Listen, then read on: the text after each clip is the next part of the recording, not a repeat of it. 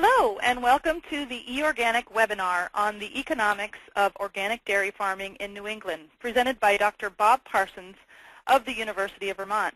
My name is Deb Heleba, and I work at the University of Vermont Extension as eOrganic's Dairy Team Coordinator. eOrganic is an online community of more than 600 ag service providers and farmers who are providing science, experience, and regulation-based certified organic information on the web. With funding from the USDA Integrated Organic Program, we publish articles, videos, and other content at eextension.org. You will be able to find the recording of this webinar, information about upcoming webinars, and more on our website at www.eextension.org slash organic underscore production. Before we get started, I wanted to give a quick rundown of today's webinar. This webinar will run for 1 hour and 15 minutes. Bob will give his presentation that will run for about 45 minutes. And at the end of Bob's presentation, we will hold a question and answer session to respond to any questions you may have. To pose a question, you will need to type it into the question or chat box that should appear on the right-hand side of your computer screen. If you can't see the question box, click the plus sign next to the box to open it up.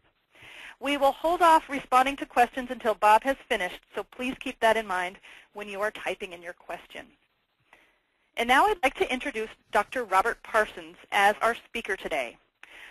Bob is an agricultural economist in the Department of Community Development and Applied Economics at the University of Vermont. He received his Master's of Science degree in Agricultural Economics and Operations Research from Penn State University, and his PhD in Agricultural Economics from Virginia Polytechnic Institute and State University. Bob joined us here at the University of Vermont in uh, 2000 with a research and, and extension appointment where he has conducted numerous educational programs on business management, farm succession, dairy economics, ag labor management, and risk management. In addition, he teaches undergraduate courses, including ag policy. In 2004, Bob and a research team from Vermont and Maine received a grant from the USDA Integrated Organic Program to conduct the project Profitability and Transitional Analysis of New England Organic Dairy Farms. This is one of the few studies across the U.S. that has looked at the economics of organic dairy farming. His presentation today draws on that research as well as subsequent data he has collected from area organic dairy farms. Bob, thank you very much for joining us today. Okay, thank you, Deb. Uh, going to be taking a look at maybe what you call an economic overview, but it's going to be a summary of uh, the last five years of uh, economic data that we've gathered from organic dairy farms in New England, which essentially is Maine and Vermont. Let me see here. Why do we have organic dairy in New England? Well, we have found that we almost have the greatest concentration of organic dairy farms in the U.S. Doesn't mean we have the most organic farms, greatest concentration. Maine, we have about 72 organic dairy farms. Vermont is about 200 right now. Out of our total of just a little over 1,000 dairy farms, we're looking about 20% or one out of every five dairy farms in Vermont is an organic dairy farm. And in the current dairy climate out there, if we had free sign up for organic, we would have a heck of a lot more joining the ranks if they possibly could as compared to the current conventional dairy farms. When we take a look at the, uh, when we started the study, which was funded by the USDA Integrated Organic Program, we had a simple question. We had some old data from 1999 about some uh, the returns from organic dairy farms and a lot of people, lenders, policymakers, other farmers were asking, gee, I hear those organic dairy farmers get a lot for their milk, but what's their bottom line like? Well, if you don't know something like that, you go out and you get the information. So with the cooperation with the University of Maine, we put in a grant to the Integrated Organic Program as well as through some hatch funds at the University of Vermont. And we've been collecting data for the five, last five years, and we are currently obtaining economic data for the sixth year from organic dairy farms in Vermont. As you can see, we got 30 farms in 2004. Our highest was like in 2005 when we got 44 farms. In starting in 2007, just due to manpower constraints, uh, Maine could not uh, obtain their data from their farms, so we've been going the last two years just on Vermont farms. Now, we wanted to know how well are these farms doing. So let's take a look. This is kind of an overview of what we looked at. In 2004, we found that organic dairy farms were not doing very well. They were actually doing worse than the conventional dairy farms that in that year. And when you take a look at the average milk price at that time was only $22.97, uh, they really weren't generating enough income uh, to actually support a family cost of living, which we have used at 35000 for this study. So as we take a look up through there, we've seen the price jump from close $23 in 2004. By 2006, we're seeing the milk average milk price pushing nearly $29, and in 2008, we've seen the average organic milk price uh, getting close $31 per hundredweight. That is with components and uh, other paid uh, quality bonuses. One thing that we've found and has been very consistent through, through the years of the study, milk production has ranged in the you know realm from a little bit over 12,600 up to 14,000. Uh, it's been very consistent the last two, couple years in that 13,500 range. Uh, generally, we have found that our organic dairy cows are producing about two-thirds of the level of our conventional dairy cows. Smaller herd size, uh, we've seen the herd size in the study going up. That is not so much from the farms that are in the study getting bigger as it has been the inclusion of a couple larger farms in the study. So this does involve two farms that have over 200 cows. We have some farms in the study that only have 25 cows, but those farms have still continued to be quite profitable. But the bottom line here is the net farm revenue before anything is taken out for family cost of living. We have seen this jump from 2004 from 28,000 to nearly 60,000 in 2008. A 60,000 net farm revenue does provide more than enough money for the family to pull family cost of living out of the uh, statistics, or pull that out of the farm account, and still have money left over for reinvestment. What have we seen over the last couple years? Some of our farms are getting bigger, but more likely from bigger farms that are adopting organic. Milk per cow seems to be holding very steady on the farms that we've seen. We've seen this big milk price jump that I've just talked about. So our net revenue is up. We've also seen a net drop in net revenue in uh, 2007, and that is because of the high feed prices that have spilled over from the conventional grain markets into the organic grain markets. Organic grain runs normally about three times more than conventional grain if you're trying to buy grain for your cows. One key aspect to remember here in this data we only have maybe one or two farms in this study in Vermont and Maine that are actually raising their own grain. For those of you in more southern regions of the country, we don't raise much grain up here. We raise corn for corn silage, and most of the farms that are in this study as organic dairy farms don't even bother raising any corn silage. It is nearly all hay, pasture, and hay silage. But a lot of things we need to take a look at. What's left over after you've gone through a year of production? So even whenever we're taking a look at $30 uh, per hundredweight milk prices, when you take a look at the cash expenses and accrual expenses, you end up taking a look at this on a per hundredweight basis.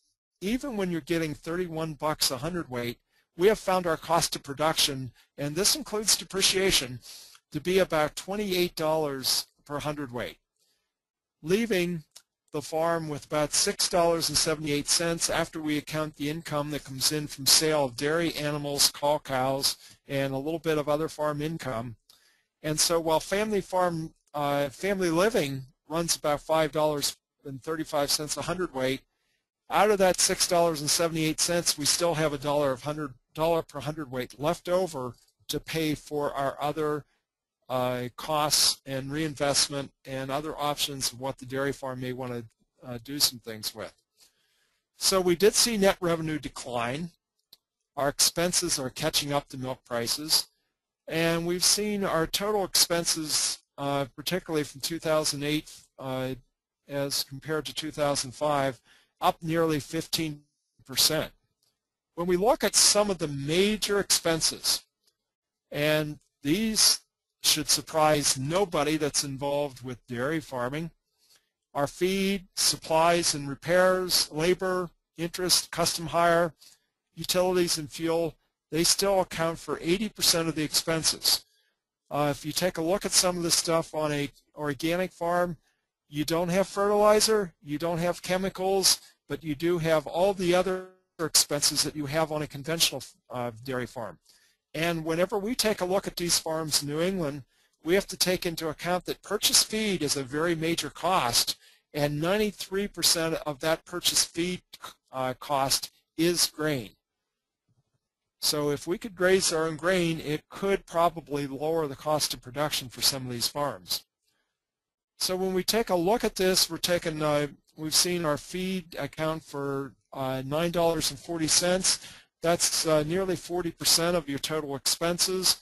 And as compared to our others, uh, we have major expenses with repairs and supplies. Labor has interestingly gone down a little bit over the last couple of years. Interest has gone up.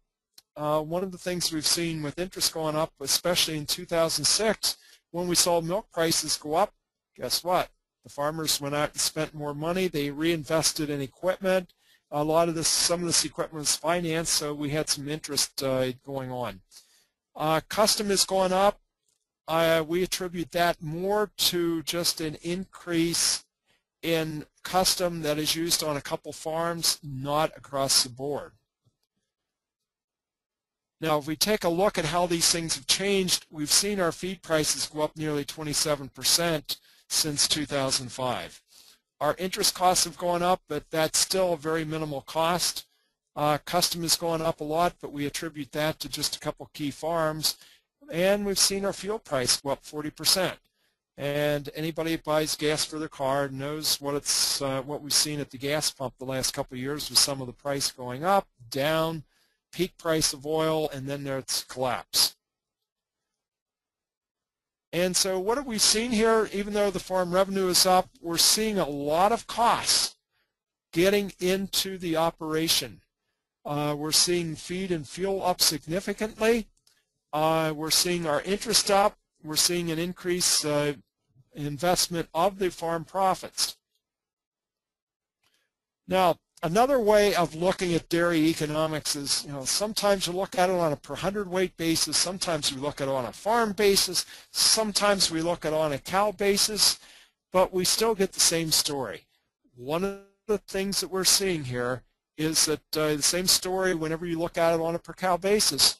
We're still seeing our feed nearly 1,200, nearly $1,300 per cow, uh, and our repairs are our next higher cost but we still have to come up with our interest and utilities and fuel cost on a per cow basis.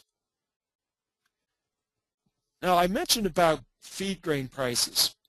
A lot of the farmers here are purchasing 100% of their grain. That is characteristic of Maine and Vermont. We, we only have one farm in our study that raises their own grain. But we have seen this mix that farmers buy, whether a 12% or 16 or 18% protein mix, really take some big jumps over the years. So we have actually seen, like from 2005 to 2009, we have actually seen the price jump 75%. Uh, this is also accompanied, as many of you that might be familiar with your conventional prices, we had conventional price of corn of $2.20 in 2005 we hit $7 a bushel in July of 2008, just before we saw the collapse of oil and we saw all our ethanol plants in Iowa start going bankrupt because uh, they were paying too much for corn. Prices have dropped since then, but we're still seeing this very high increase in our feed grain prices that the farmers here in the Northeast, if you're going to be in the organic business, have to pay for the feed. Now, if feed is up 20, 70% though, but we're only seeing that individual farm expenses are up only 27%. What's going on here? Well, anybody that's familiar with the farm and feeding, whenever the price of grain goes up, what do farmers do? They feed less grain per cow. And that's what we've found that has been a strategy of most of the farms. They're feeding less grain per cow. The farmers are also feeding a lower protein mix. It's cheaper. And there is a renewed focus on making better use of your forages. Try to get higher protein uh, in your hay and your haylage and try to make a little better use of your pasture. We have a number of farmers that say they're thinking about raising grains, but that has not really translated past the thinking stage yet.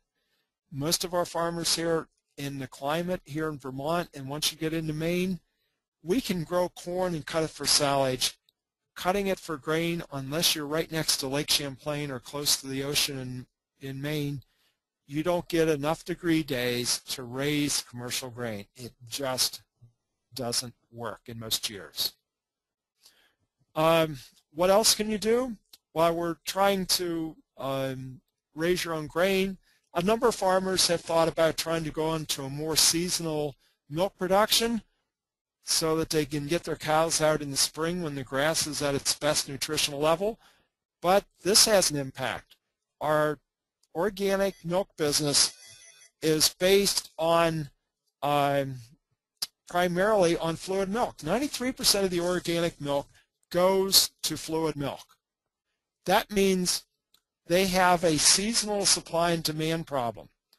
We all know that milk consumption tends to go down during the summertime, starting in May, whenever the schools let out. This is not when processors want more milk. So seasonal milk production really is opposite of what the processors want. What we have a problem here is with uh, your situation with the economics of uh, organic dairy is that if you want to survive in this business, it has become a commodity. It is not a niche market. If you're going to survive, you have to be the lowest cost producer. Some people may not like that, but it does follow the economic theory that we're getting into milk production, that organic dairy is a commodity, and to be surviving in this business, you've got to keep those costs under control. Now, how does it compare to conventional? Well, anybody that's been watching the conventional market knows that we have been on one heck of a roller coaster the last since 2004. 2004, conventional were far more profitable than organic. 2005, we're starting to see organic milk prices go up while conventional prices are coming down. 2006, we have low conventional milk prices while organic is still continuing to go up, that is when you really want it to be organic. That's why we saw in the state of Vermont, we saw nearly 80 farms begin their transition to organic just in 2006. 2007, conventional was slightly better, uh, but organic was still very competitive. Then starting in 2008, I'm not sure if anyone is quite aware, but we had a recession starting in 2008 and we saw the collapsing of conventional milk prices. By 2009, uh, what we're looking at right now is that the organic dairies that uh, we have the data from in 2009, these the organic dairies in Vermont are cash flowing. Their profits are down a little bit. Some of them are facing quotas, but as compared to their neighbors that are in the conventional milk business, Many of these farmers have lost hundreds of dollars per cow in 2009. And while things are getting a little better in the conventional side that they're approaching break even, they're still, in 2009, conventional dairy farms lost their shirts. They lost money in every 100 pounds of milk. They lost equity in their cows. They took on debt. And in many months, their milk checks didn't even cover the feed bill. So when we take a look at it in that perspective, you start understanding that uh, maybe it's a little bit better off to be organic. When we compare 2008, these are some of the aspects that you have to look at with comparing organic to conventional. Yeah, organic is getting a much higher milk price.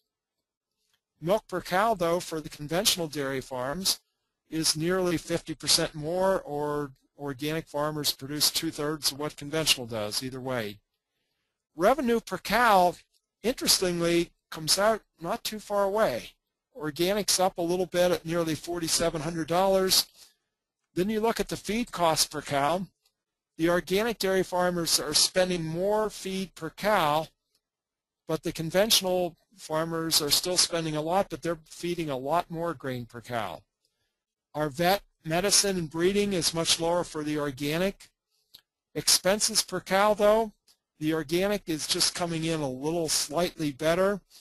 So when you look at net farm revenue, after all the accrual adjustments, we're seeing that the organic as compared to conventional uh, was clearing 900 over $900 per cow versus 500 for the conventional.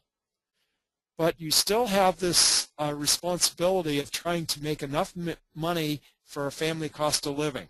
And so you still need to have the total number of cows that you need to make your family cost of living. Here's something that we looked at individually by taking a look at fuel prices. We looked at our uh, fuel prices and fuel expenses on a per cow basis between the conventional farms and the organic. In each of the years from 2004 to 2008, the organic dairy farms were spending anywhere from 24 to 51% less money on fuel than the conventional farmers are. Basically, the conventional farmers are spending a lot more on uh, fuel. They're spending a lot more on their fuel for their field crops, whereas most of the farms here in New England that are organic have stopped raising a lot of the field crops, which really lessens their demands for fuel. But on the other hand, think about whenever we uh, hear this major uh, discussion about sustainability, I've had some students tell me, well, gee, you know, organic farmers, because they don't use or, you know, so many fossil fuels, they're more sustainable. Well, when I go out on an organic farm, they're driving trucks that use gasoline. They're driving tractors that use diesel fuel. Maybe they don't use they don't use any fertilizers, but they still use a heck of a lot of fuel to get their feed put up. And I don't know how sustainable they would be if they didn't have diesel fuel. They probably still would not be in business. Now, so some of these points on overviews on our organic farmers that what we've seen over the last number of years, our organic farmers tend to be a couple of years younger on average. We're seeing maybe a little higher degree of education. They definitely make greater use of grazing. One of the aspects here in Vermont, and I'll make this a tribute for uh, NOFA, which is the primary certifier, they do more than just certify that you meet the organic standards. To get certified for organic production for milk in the state of Vermont, NOFA wants you to have a grazing plan, and they help you develop a grazing plan. That's not a USDA requirement, but it is a NOFA requirement. So they really want farmers to have a grazing plan that has a thought-out method of how you're going to develop your pastures and your grazing and how you can manage it for greater efficiency and greater production. Fewer, few of our organic farms raise grain uh, New England, it's too cold to raise grains, especially the um, the corn. We are seeing a few more farms interested in growing soybeans, but not among our organic farms very much. Whenever we've asked the organic farmers about their decision to go organic, 93% of them are satisfied or very satisfied. We ask them about their future. Nearly 90% of them plan on milking 10 years or more and 85 uh, 85% believe that organic is going to be more profitable for them in the long run. Another aspect of the organic dairy farms is if they would not be in business today, many of them would not be in business today if it wasn't for the option to go organic. And I think that's a very key point that we need to consider when we look at some of these organic farms. Many of our farms here in New England have limited acreage. They're located in narrow valleys where there is no other additional land available if they were to expand their herds. I was just at a farm last week where we were talking about what he would have done if he would have gone organic. He said, oh, I'd be out of business because of his resources, where his barn is, the land that he has available, without the lack of additional land around him, he would have gone out of business. He would not be in business today had he not gone organic. And then we stop and think about that. If that's true of the majority of the 200 organic dairy farms in Vermont, we could probably say that we would have 150 fewer dairy farms today if we did not have the option to go organic. This keeps another operating dairy farm in the community. It keeps another farmer that is buying inputs in the community, another dairy farm that is in business and helping contribute to the tax base of the community. It's, it really has some spin-off effects with the community development aspect of our rural communities. Uh, grazing patterns, as I mentioned, if you're in uh, organic milk production, you have to graze your cows. NOFA Vermont requires farms to have a grazing plan. We have found out that about through our surveying that about 50% of the organic farmers move their cows to new grass every day. And whenever we took a look at, we checked about the correlation between intensive grazing with profitability. We don't have, there's no correlation there. So whether it might be considered to be a better grazing management aspect, we have found that there's no definite difference between farm profitability and using intensive grazing management practices. Um, we just take a look at also some of the aspects in New England from the new grazing rule that has uh, that will be taking effect because most of the organic farms in Vermont are already making very extensive use of grazing we really don't consider much difference on the management practices of our farms in Vermont. Hopefully uh, uh some of the farms in Vermont will benefit from maybe changes that may occur in other parts of the country with respect of implementation of the new grazing rule. Now, after this looks pretty good, but where is organic farming headed? God, would, don't we wish we would know? Do you know that there's a recession out there today? I think some of us do that if you have a 401k or if, unless you've been totally ignoring the news. In two, fall 2008, the world turned upside down. Markets went to hell.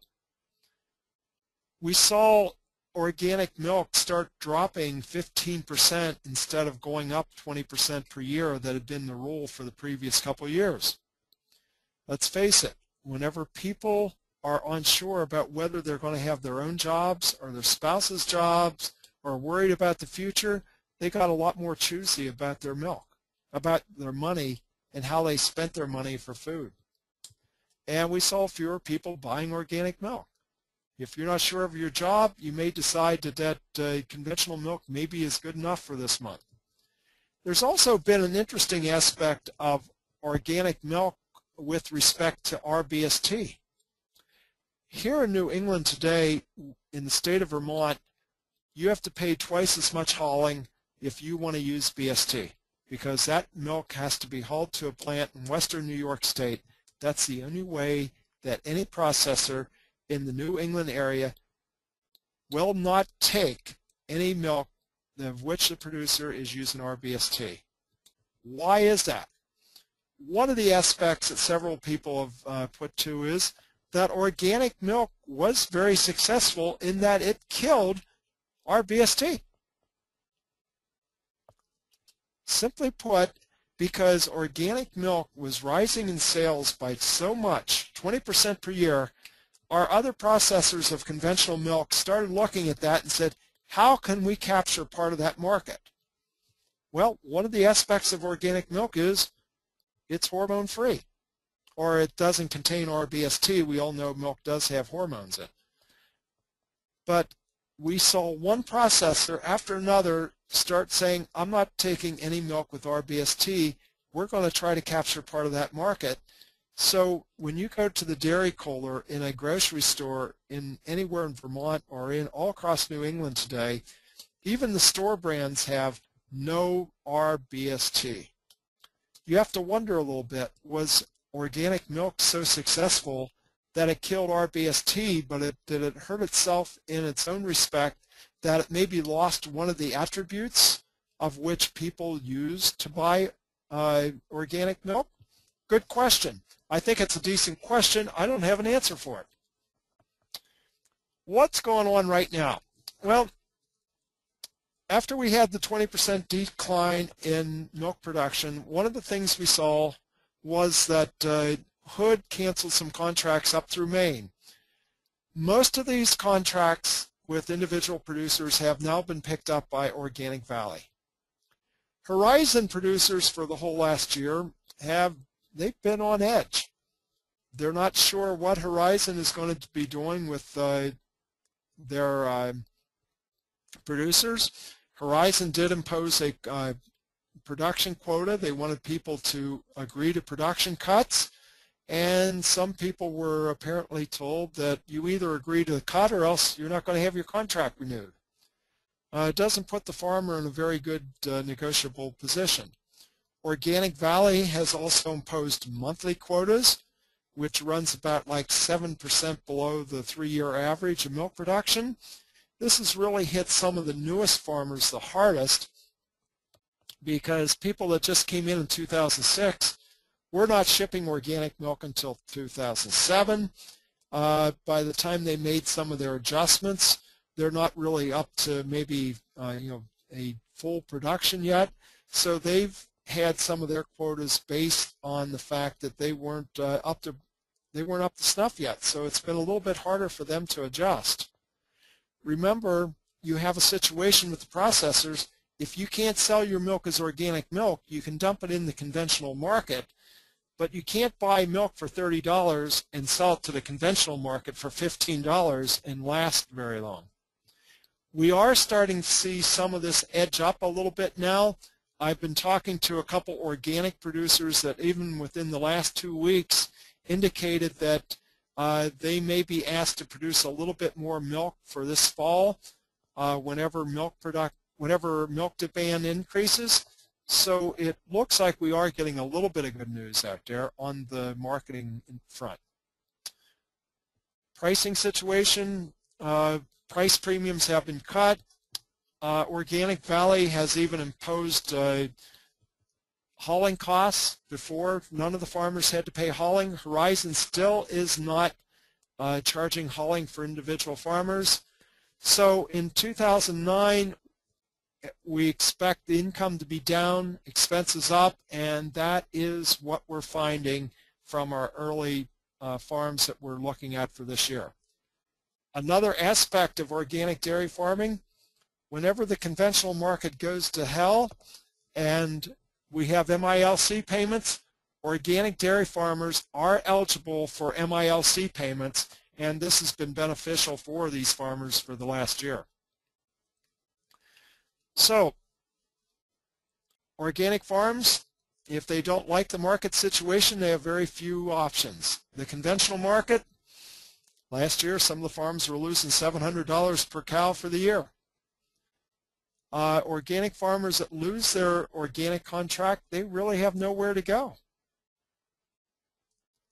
We have others that are facing cutbacks due to their monthly quota. They really don't have much choice if they want to remain in organic milk production. Uh, some of them are thinking about maybe selling more raw milk, but it's kind of interesting. Some of the contracts with some of the processors has in that they are the exclusive buyer of your milk. And several farmers have asked, well, if I sell raw milk out of the tank, what does that mean? Well, it means technically you're in violation of your contract. We still have the situation of the market imbalance that we have seen in Organic Valley, and I think Horizon may also put a premium on milk that is produced from November to February. That's when they want the milk. That's when they're selling most of the fluid milk. So what are we seeing? Overall, organic farmers are still cash flowing. The least profitable organic dairy farms are, they're in trouble. And the same with conventional farms, there's a range of profitability whenever we just look at just the, the averages. There are some that are unprofitable. There are some organic dairy farms that are selling out. They're thinking that uh, maybe some of the good days are over every time that you're seeing a market go down, there's a lower equity uh, from lower cow values. Definitely no one is planning any expansions in the organic dairy business, and the organic processors are not taking on any new farms right now. You can imagine what it would be like if uh, conventional farms could transition to organic right now we'd have such a stampede we wouldn't know what to do with it. So the future from a regional perspective, how does organic fit in with the future of small dairy farms in the Northeast? It's been a lifesaver for a lot of our smaller farms. Will it continue? A lot of our town and community and our state legislators hope so because it keeps some of these farms in business. They would not be in business had they not gone organic. It's had an impact on the community and on uh, suppliers. It's a great combination for the region here in New England where you're characterized by small farms without any options of expanding whenever you have a lot of land being used up and land is very expensive close to our urban uh, population centers. From a national perspective, it's really conventional you don't want to go from organic to conventional at this point. Many conventional farmers would still convert to organic if they could. We still have the dilemma with some of the larger organic farms in the West. Organic milk in Walmart. What does that mean? Well, that's giving us another uh, situation because organic in Walmart at the lowest price, price to the consumer, does that really help the farmer? Some people are not too happy about that. There's some critics of that. Uh, the restrictive grazing rule, uh, if this makes things tougher for some of the larger farms in the West, uh, from a regional perspective, I think this would be advantageous to a lot of our smaller organic farms. Uh, of course, if I was from the western states and was representing some of the larger organic dairy farms, I wouldn't have that uh, type of attitude. But I'm from New England.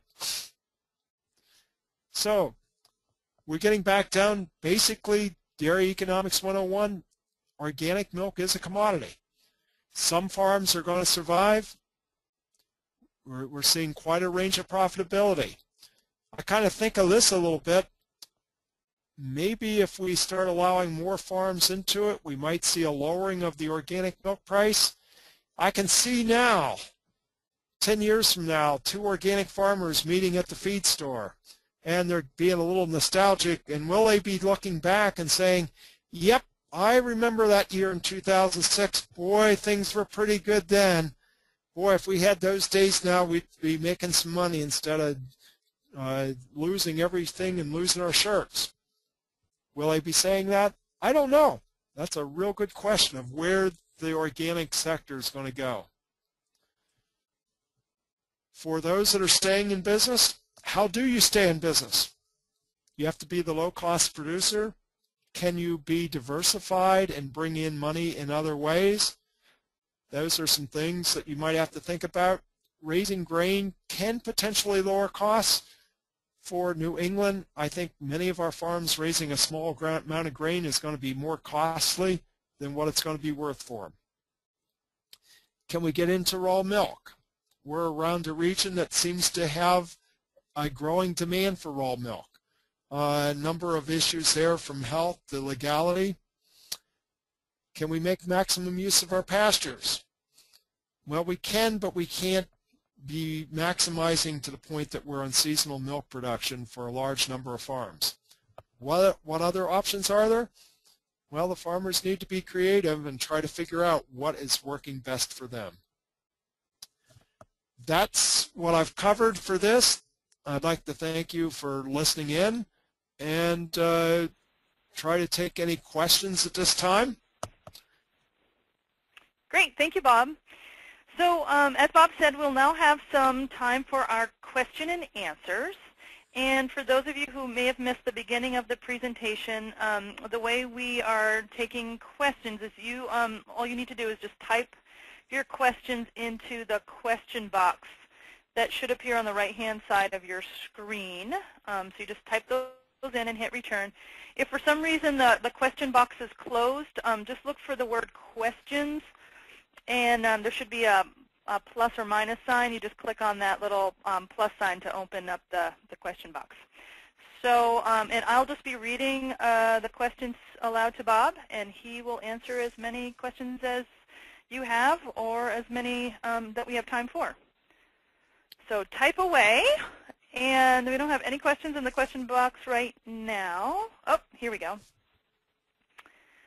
Great. So um, the first question, Bob, that we have is, do you know anything about organic dairy farming in the South? Not much. I do know that uh, there were a number of farms that were considering uh, getting into organic dairy in the Virginia, the Shenandoah Valley. Now, of course, some people may not even consider that South. I know when I was at Virginia Tech, one explanation I got that uh, most of the people in the South consider Virginia to be North, and most of the people in the North consider Virginia to be South. So uh, I'm not sure if that market ever took off. It was supposed to be development, I think, of an empty milk plant down there, and I'm not really sure if that really has ever taken effect there. I know there is some organic milk production in Maryland, but going further south, uh, I really don't know of any organic dairy farms from North Carolina to Florida. Okay, um, and, and I as well. There's uh, very few as, as far as I understand. Um, next question is, do you identify any outstanding farmers that might point towards successful strategies for the future? You know, the strategies are very same as what they were for conventional. Our, I would say our most uh, profitable organic farms were also profitable conventional farms. And a lot of it is just uh, keeping your costs under control. It's amazing how you go from farm to farm and you see you pull in and they seem to have the same herd size one farm's going to spend $20,000 on repairs and the other farm spends about 3000 uh, It's just incredible whenever you take a look at the finances of some individual farms that you think look alike. And anyone that I think is familiar with this is it still seems to come down to the individual management skills of the farmer. It's not necessarily what you're selling. And uh, you know, I kind of hate to see this, hate to say that, but uh, a lot of people have gone this through this for years. Go, what it, what do I need to do to make money? Well, uh, some of our guys that are good managers, they tend to be low debt. I don't think they're low debt because they inherited the farm. They're low debt because they've paid off their debts. So uh, it really comes down to a lot of individual management. We have some farms in this study that are producing a 40 $40,000 profit or $45,000 profit and they're milking fewer than 30 cows. Great, Bob. And just to follow up with that too, um, uh, if folks aren't aware, the Northeast Organic Dairy Producers Alliance um, um, publishes uh, farmer profiles on their website, so that might be something to take a look if you're interested in reading farmer stories. Um, you could find the NODPA um, website at uh, organicmilk.org. Uh, I don't think it's on that additional resources piece.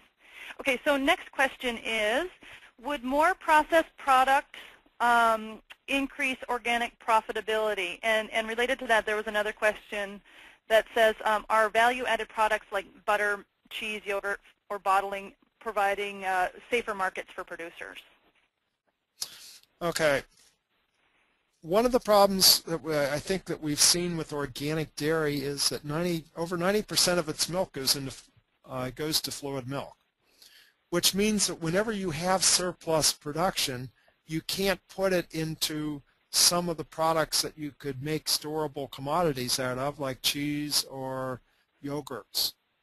And so you have a situation that if we could get a little bit more demand for organic products, it would help the organic milk price and would help offset the seasonal imbalance that we have between supply and demand. Now, the question is, can you make uh, are consumers as picky about organic cheese as what they would be for organic milk? And the answer to that so far has tended to be that uh, you know that maybe the consumer isn't quite as willing to spend the extra money for organic cheese nearly as much as they're willing to spend the money for organic milk. Why? I don't know. I do know that uh, there's a study starting here at the University of Vermont that is going to be trying to examine uh, consumer attitudes toward some of the organic milk products you know, that would be coming from processing and see uh, what are some of the uh, cons consumer attributes and trying to identify if there's any barriers toward increasing sales of like organic cheese and other organic dairy products. Deb, could you repeat the second part of that question, please? Um, I, I, think you answered it, but it, it was um, our value-added products like butter, cheese, uh, and yogurt or bottling providing safer markets for producers? Um, I think what that uh, question refers to is whether you are having on any on-farm processing. Mm -hmm. Now, in this study, we did not include any of the farms that are involved with on-farm processing. Now, in the state of Vermont, we do have a large number, well, it's a sizable number. We have about 50 maybe artisan cheese makers we we have one organic dairy fluid milk bottler that's a farm processor bottler and uh, we have a couple that are in and one primarily that is in the yogurt business. Uh, that has been successful for those farms. One of the things that is of concern is it is a huge investment to get into milk bottling. You know, setting up your equipment uh, can easily run into several hundred thousand dollars just to get your pasteurizer and uh, bottling machine set up and you don't use it very much if you're just using it for your individual farm. Now, it, you can capture a local market that way, but one of the things that you have a concern with is that if you go to the uh, your dairy case or go to your co-op store or wherever you're buying your organic milk and there is 10 different farms and they're selling their own milk, are they going to be able to command a higher price? They're going to be competing against each other in price. So there is a point where you can, if you're the only business in town that is selling organic milk that is produced on your own farm, yes, it is probably an advantage and it is likely more profitable.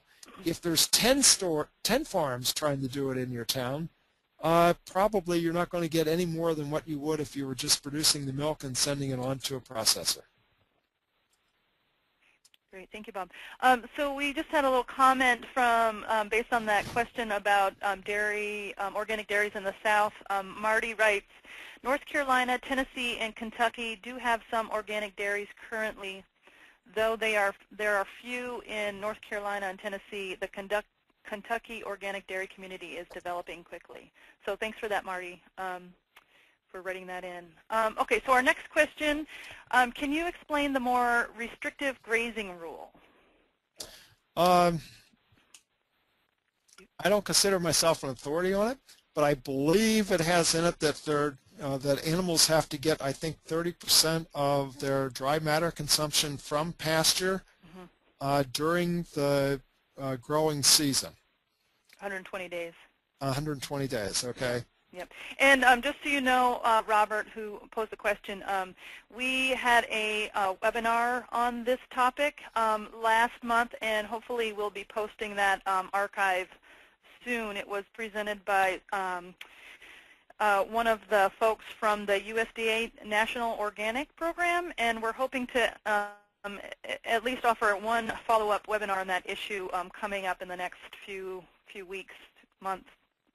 So just be looking for that So you want to maybe go to the um, eOrganic website that's posted on the screen and, and take a look. Okay? Um, okay, so we have another comment from David in Minnesota, uh, Minnesota who says, um, Bob, your numbers of expenses and revenues match up with numbers collected in Minnesota. Production per cow is a little less, but our growing degree days are just long enough, or just long enough for short season corn grain. So thanks, David. Any comments on that, Bob? Well, uh, our problem here is, yeah, some farmers can grow short season grain, corn, if you're next to Lake Champlain. If you're up in the mountains here, forget it. And so uh, short season grains are helpful for some of the farmers in some locations. Our problem is that we get some years that the corn just sits there in September and doesn't mature, that it's just not warm enough. And then you have the problem of, you know, the only other option is to harvest it for corn silage if it doesn't mature. And also, we don't have the infrastructure here for handling grain. We don't have dryers. We have very few people that have combines. So uh, because very few people raise grains here, we don't have the planters, the harvesting equipment, or the storage equipment so that if you did get uh, uh, wet, damp corn, uh, you couldn't, you'd have a hard time even finding a place to go and set it up for drying. So a lot of infrastructure problems that we don't have because we don't raise much grain corn. Okay, great. Um, so this question, um, I'm, I want to make sure I have this clear. Um, Tim from Purdue is asking, um, in New England, what is the average cost of organic cows slash head? Does that make sense to you? Cows per head, cow? I'm, thinking he's talking about what what they are the average costs of the animals. Uh, I talked to a farmer yesterday who just bought 20 head and they paid $1,200 a piece. And has this and, also dropped since uh, 2006? Yes. If you uh, about 2007, 2008, uh, we had people selling organic cows for $2,500 or more. Okay. Tim, I hope that answers your question. If it doesn't, just um, tap tap in another question, please. Um, okay, so this question says, you said there's no correlation between grazing intensity and profitability. How did you measure the, level, the levels of grazing intensity? For example, moving twice per day, once per day, every other day? Do you have any uh, on that? We were taking a look at anybody who moved their cows to fresh grass once a day or more. And we took a correlation of that, and then we took a correlation with all those that moved their cows uh, you know, at least every two days or a shorter time period. So when I said more, that was more. I mean, I let me rephrase that. What we're taking a look at first was those that move their cows to fresh grass at least once a day or two times a day or maybe more often. And then we included everybody that moved their cows at least every two days to fresh grass and we ended up with a correlation of something like 0.1 and so when your correlation runs from 1 to minus 1 a correlation of minus 1 tells you there's there's no correlation there. Okay, this question um, says, uh, with the quota reduction being forced onto uh, organic producers, can these producers utilize this excess um, for their own marketing? Cheese, butter, etc.? Interesting question.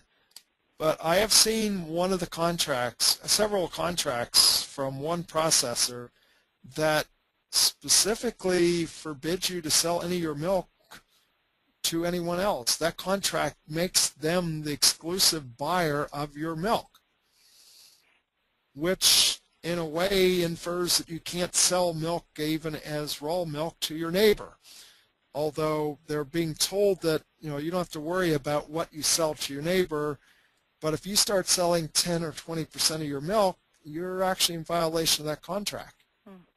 now uh, there are people that do uh, maybe like make some of their own cheese and they have found a processor that will take their their extra milk and therefore they've gotten around that. So yes, you would have to work out the option, but you would have to be with one of the processors that allows that in the contract. Okay. And um, this one, just a follow-up, you might have just answered that. I'm sorry, I was paying attention to the question box. Are there any instances of processors taking a hard stance on those farmers using their own unsold milk for other products? No, I've never heard. I've never heard of anyone really taking a hard stance on that. Um, is anyone seeing dual-purpose cattle helping to offset their dairy losses? Uh, no. I have not come across that. Okay. Although, whenever you're out on these farms, I have seen every crossbreed that you could possibly get. You know, using international genetics, you know, Dutch belted or New Zealand genetics. I've seen every cross between our major breeds that you could imagine, and I wouldn't be surprised that some of our farmers would probably even try crossbreeding them with moose if they thought they could get a little higher milk production or a better grazing animal. Okay. Oh, and Tim um, follows up um, about the question about cows, organic cows. Um, just said the change from uh, 2,500 to um, 1,200 a cow mirrors what has happened to the conventional cows, but five times the magnitude. So thanks for that response, Tim. Mm -hmm. And um, a question about uh, uh, farmers raising their own grains. Do you have any economic data on on that, Bob? Grain production for livestock feed? For uh, for for organic farms, I have a little bit of data from a sample of one. okay. So, and uh, he is in it at a large scale. He has a combine, and uh, he is also working closely with. Uh, no, I guess yeah. This individual is will, working with uh, also one of our agronomists, Heather Darby, who's doing a lot of research on organic grains, and uh, I don't know, I, I, am not sure if half his stuff might even be considered to be research rather than farm application, but he is trying to raise the right combination because there again, what kind of seed corn do you raise? Uh, we have another farmer, Jack Lazor, in the state of Vermont that has really made a good market for trying to look at, uh, what are they called? Uh, I forget the word right now. but The Local locavore, no, the type of seeds, uh, I, heritage seeds in corn and other crops that uh, that he said that were at one time much better suited for the Northeast. So, yeah, these two are doing a lot, but uh, I don't have much figures on their cost of production. Mm -hmm. And, and for folks that might be interested, uh, we have a farmer, an emerging farmer group um, here in Vermont called the Northern Grain Growers Association who have been really committed to grain um, production for both human consumption as well as livestock feed. So that is coming out. And, and our, our, our, our brothers and sisters over in Maine have also, at the um, University of Maine, have also been taking a look at grain production. So it's really an, an, an area of interest certainly to folks here in the region, also some research being done in North Carolina as well, so on or, specifically on organic grain production, just so folks know. Um, any more questions? I don't see any more questions in our in our question box at this time. I'll give folks maybe one more minute.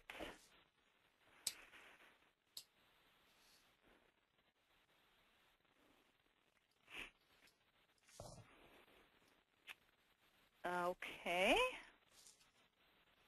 And with that, I guess we're going to close our this webinar. Um, thank you again, Bob, for your presentation, and thanks to all of you for, for coming. Um, uh, we wanted to make sure that you had these two links that are up on the screen. Um, the first one, a comparative analysis of organic dairy farms in Maine and Vermont, was um, the publication um, uh, um, basically publicizes the uh, results that Bob and his um, colleagues from Maine and, and Vermont um, from that USDA um, integrated organic um, program study.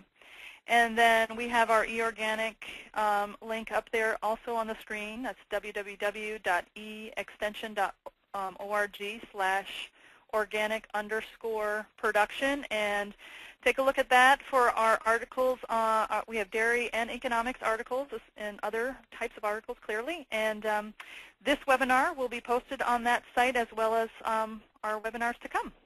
Thank you very much. Thank you.